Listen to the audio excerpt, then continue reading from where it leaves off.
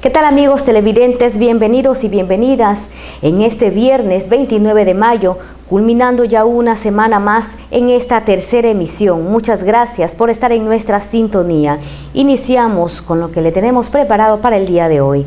La unidad antinarcóticos del Oro, mediante operaciones básicas de inteligencia, pudo detener a un ciudadano en el cantón Santa Rosa en posesión de sustancias sujetas a fiscalización. A continuación los detalles. Mediante allanamiento efectuado a esta vivienda por la Unidad Antinarcóticos de El Oro y apoyados por grupos tácticos del GOE y el GEMA, se detuvo un ciudadano en tenencia de sustancias sujetas a fiscalización.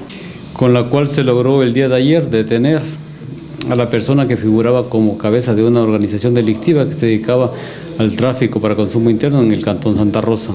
Fueron varios meses de seguimiento los que permitieron la captura de alias El Gordo, a quien se le encontró en posesión del alcaloide, además de otras evidencias. Y la incautación de 1.170 sobres que contenían una sustancia blanquecina que al ser sometida a las pruebas de campo dio positivo para cocaína.